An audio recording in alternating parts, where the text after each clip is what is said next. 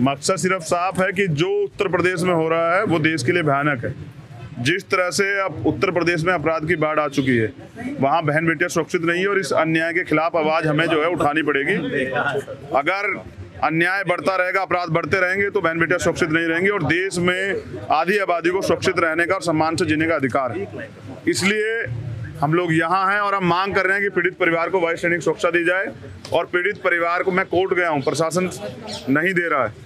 तो इजाज़त नहीं दे रहा पीड़ित परिवार को मेरे साथ आने की तो हम लोग कोर्ट गए और उम्मीद है कोर्ट हमें ज़िम्मेदारी देगा और कोर्ट हमें ऑर्डर करेगा कि हम अपने परिवार को अपने साथ रख सकते हैं। गाँव गए थे गाँव के दौरान 400 लोगों पर एफआईआर दर्ज की गई है उसमें आपका नाम भी शामिल है। पीड़ित परिवार को न्याय दिलाने के लिए सिर्फ़ मुकदमा ही नहीं जेल हो जाए फांसी हो जाए कोई फ़र्क नहीं पड़ता है।